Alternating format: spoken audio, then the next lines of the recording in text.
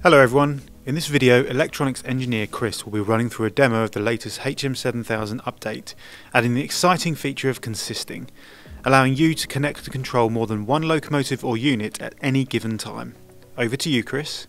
So this is the new consist update in the HM7000 app. It allows you to connect and control more than one locomotive at a time. Um, up until now, if you wanted to, say, control an HST, which has got a, a powered unit at one end and an unpowered unit at the other end, you've had to access one, one of the locomotives in your engine shed, set the, set the throttle to what you wanted, and then scroll to the next one, the dummy car, um, and then set the throttle. Now you don't have to do that. You can consist up to eight locomotives um, together. So in theory, you've got the ability to be able to control um, the motor, have motor control over eight locomotives at the same time. Um, the way you do that is really, really simple. Um, within your engine shed, within the app, we'll display all of your current locomotives in your library. Um, if you click new vehicle at the bottom, it now has an additional option for consist. Click consist you will see the consist settings main screen, which looks very similar to the locomotive settings main screen. Here you can allocate your locomotives to the consist, name the consist, um, and you can also, by means of scrolling through the various uh, screen options, have the ability to be able to globally or individually change things like uh, acceleration rate, deacceleration rate, global volume for all of the locomotives in that consist.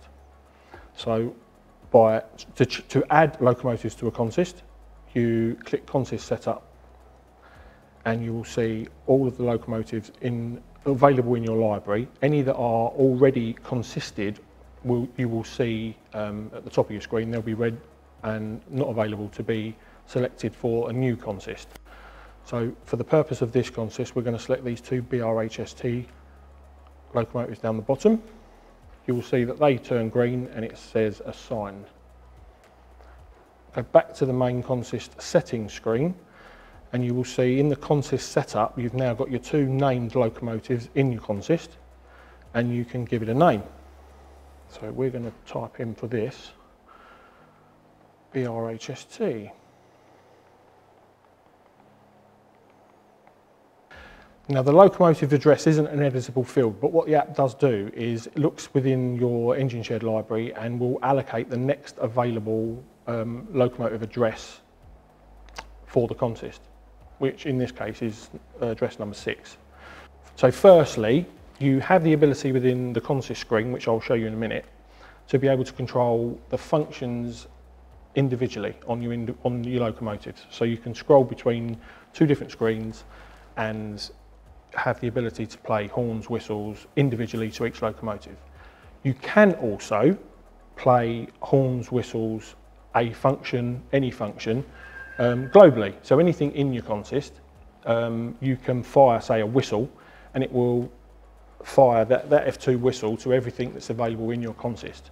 So this import global, global function map is a way of you being able to import a current map given from all of your locomotives in your engine shed, or what it will do is it, it takes a snapshot from the, the, profile screen that's in the app, um, and we'll, you can pick a, a, function map from any of those profiles that are in the app. Now this is a, a test app, so it's not fi the final version as in the live app, um, so there are quite a few in here that don't actually exist. Um, so for the purpose of this, I've just consisted the HST. So you can either pick your individual function map which you've allocated to your HST, or you could find it, the HST, and this is pulling through from the profile screen. So for this purpose, we will click it, and it says imported profile data. So when you go to your global functions tab at the top, it's imported all of your functions for you. Now you can, instead of importing global functions, you can add them manually. So if you had two different locomotives together, um, you can import your functions manually or, or, add them manually. So here is your BR HST consist that we've just created. So as you can tell now, I've got one horn. This is the dummy car.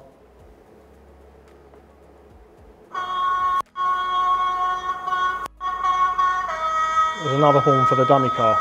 And as you'll notice, I flipped the direction there. That's because within the decoder itself, there's a function map um, setting, CV119, and on the HST and other projects like the 800, you can enter a value. This is all contained in the HM7000 manual um, of one or two. It's, there's one, two or three, I think, on the flirt, but um, it allows you to then set it to powered car, unpowered car, and it will then only play functions that are relevant for direction of travel. So the horns will only say operate whilst the locomotive is running forwards.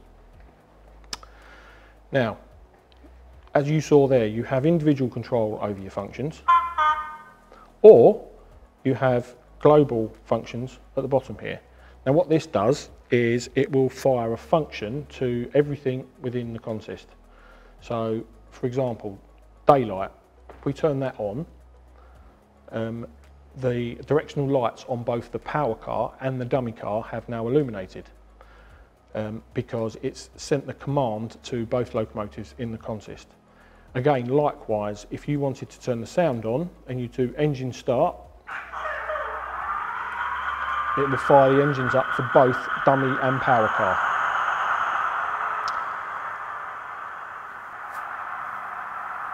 Your global function window that popped out here will always be the opposite side to your throttle bar here. And you can change your, the orientation of your screen and you can change the location of your throttle bar if you want it left or right by going into your settings menu, consist control customization, customize vertical UI scale, and slider, invert slider position so you can switch it between left and right. You can also change scaling on the screen to make the throttle bar narrower, wider, and the function buttons narrower and wider as well. So, now you started the engine, you've turned the lights on for both your throttle bar here, which is touch sensitive, so you don't have to drag and drop like you did with the old uh, horizontal slide bar. You can just touch the screen now, and it will instantly set the speed for both the powered car and the unpowered car.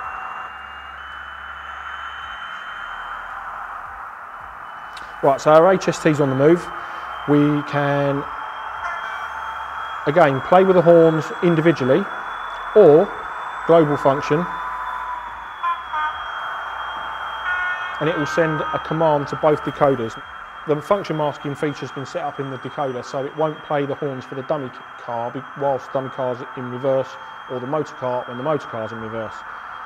So it really makes full use of that feature.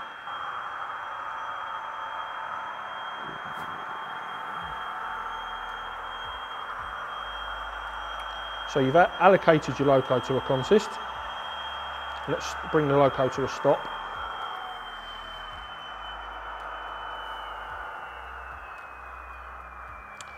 And also within the consist, what you can do, you've got the, the button down at the bottom here that's direction setup. Now you can invert the direction of one or two or however many locos you've got in your consist. For example, if you have two class 20s consisted together, they typically run when they're running together nose to nose. So you could invert the direction of one whilst keeping the direction that you'd previously set to the other unchanged. So what it would now do is invert the direction. So even if you apply the throttle to move the locomotive, you've inverted one, but they both still travel in the same direction that they were before.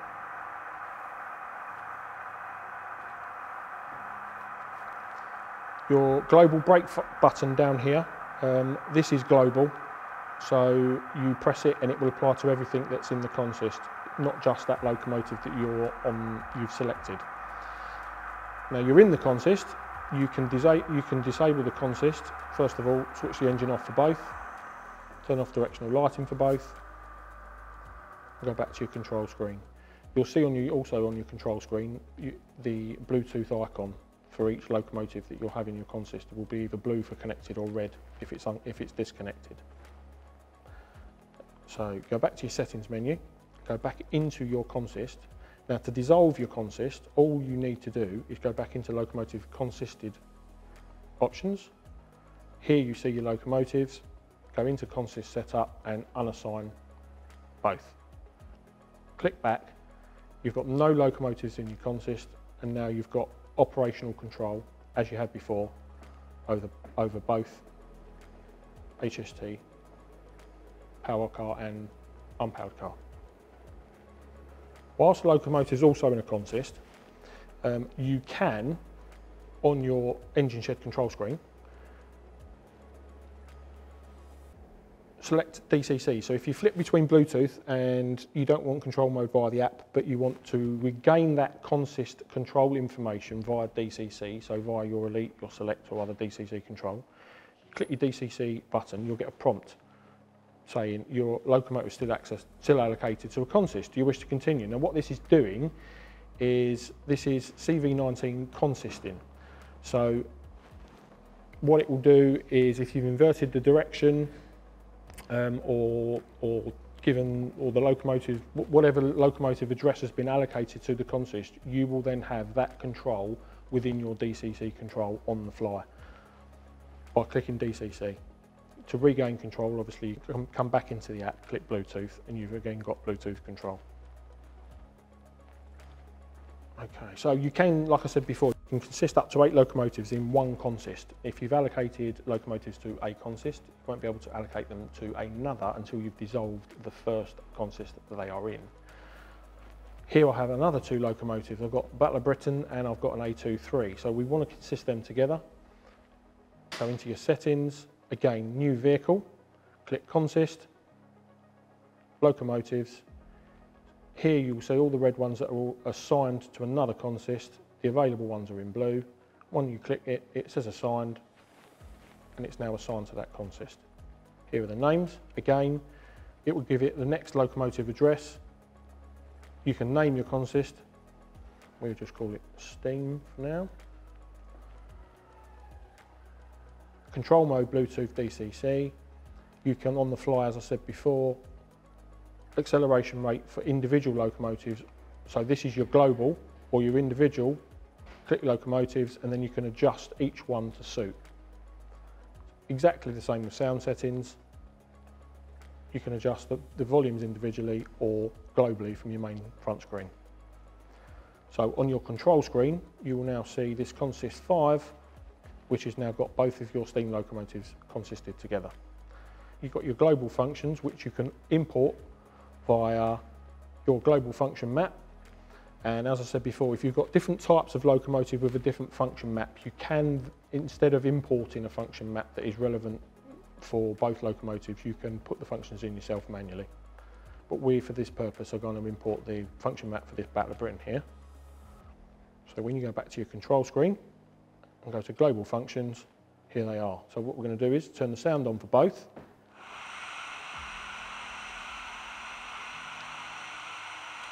And now with one, with the touch of the throttle bar, both should move in unison.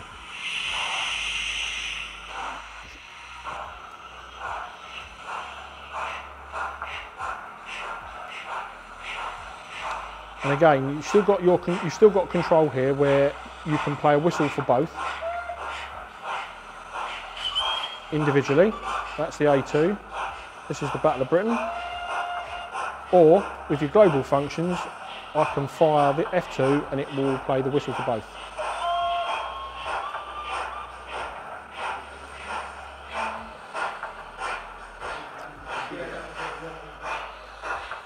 Right.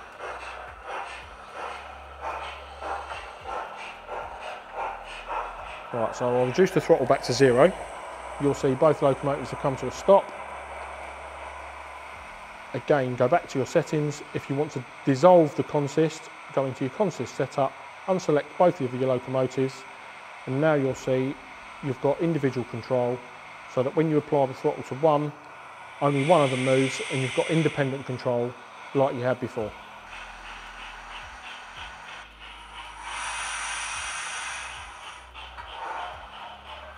Both your locomotives do not have to be stationary when you're setting up a consist, but it is recommended so you don't get any runaways or uncontrollable locomotives.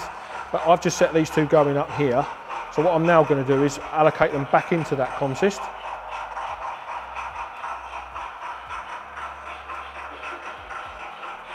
And the moment I touch the throttle bar here,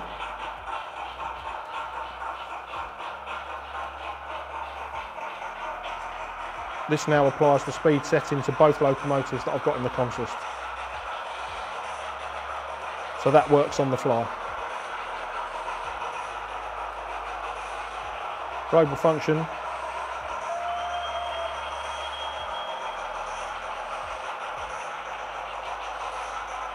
Thank you to Chris for taking us through the new consisting update.